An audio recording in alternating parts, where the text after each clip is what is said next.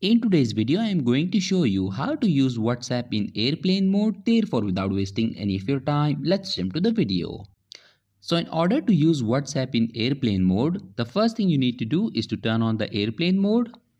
Once you have done that, open the phone dialer. Now you need to type this code.